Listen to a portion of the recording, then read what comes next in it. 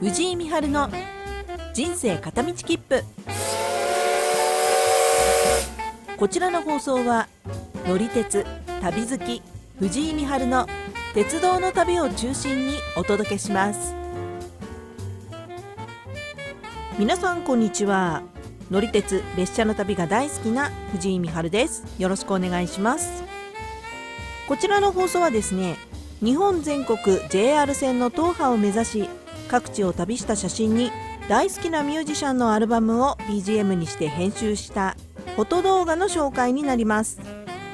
鉄道好きはもちろんですが国内旅行や一人旅に行きたい方観光地の写真を見るのが好きという方もどんどんコメントや DM ください。お待ちしております。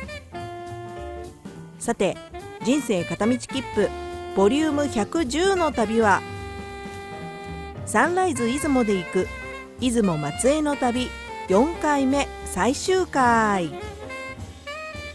前回は松江周辺を観光してランチまで。今回は玉造温泉と翌日最終日の紹介です。女3人旅どんな結末を迎えたのでしょうか。2019年12月サンライズ出雲で行く出雲松江の旅最終回スタートです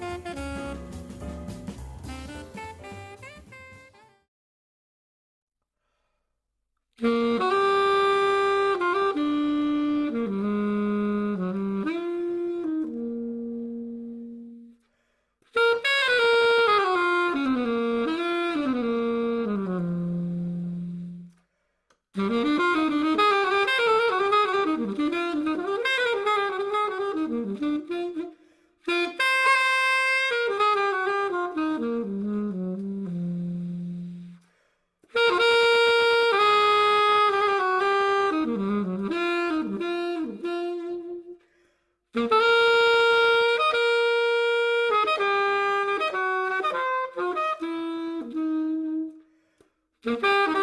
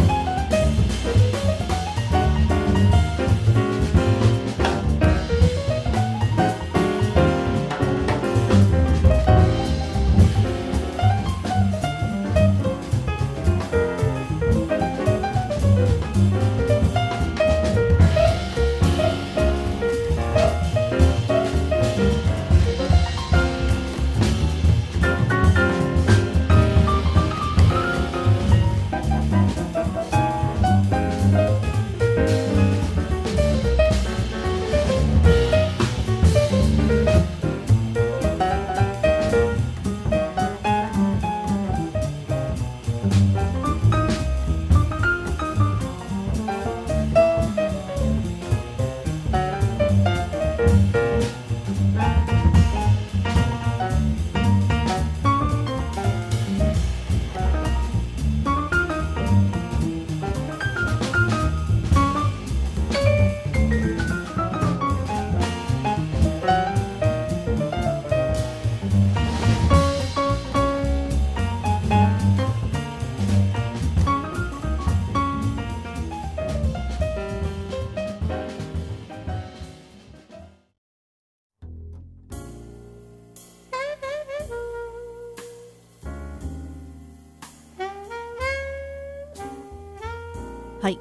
2019年12月サンライズ出雲で行く出雲松江の旅最終回。いかがでしたでしょうか？玉造温泉でのんびりしてスイーツ。予定通りの居酒屋で美味しいものにもありつけ。最終日は自由行動で八重垣神社へ。後から到着した2人は鏡の池で占いもやったみたいです。結果はどうだったんでしょうか？気になる方は2人に聞いてみてくださいね。私の欲しい縁は5年後。またサンライズ出雲と出会いたいです。さて次回人生片道切符111回目は日本百名城新潟県春日山城になります。さつき晴れの5月週末パスを利用してお届けします。楽しみにしててください。藤井美春の人生片道切符。また次回の放送でお会いしましょう。